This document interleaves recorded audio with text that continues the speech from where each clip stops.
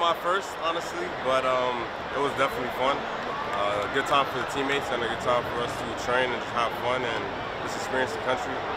Um, definitely something that I never thought I'd be able to be a part of, but you know, I'm just glad to be here.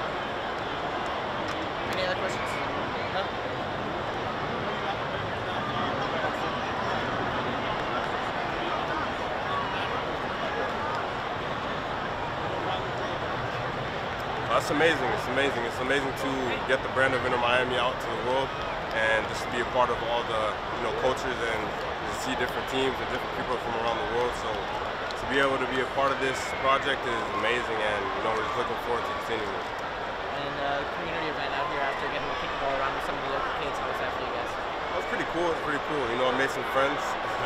um, definitely showed them a little skill moves, and they showed me a little bit too. But you know, to be able to just have fun with them, kick a soccer ball, and you know, just give them a good time, I'm just happy to do that. So.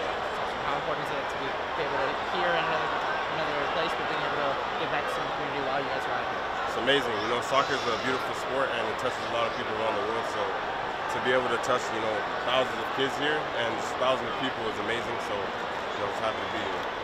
How do you feel about the girls football players? Are they potential? Uh, can you that one more time?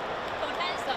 They are potential. The kids that you were the ball around here, they have a lot of potential. How do you feel about the local? Oh yeah, yeah, yeah. They got a lot of skill. One kid, he actually made me, so you know I might have to, we might have to look at him.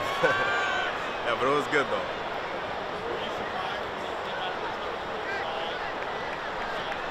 Yeah, yeah, very surprised. I think me and a few teammates were in awe, but you know I'm just so happy that everybody could come out and support us, and you know we're just looking forward to continuing.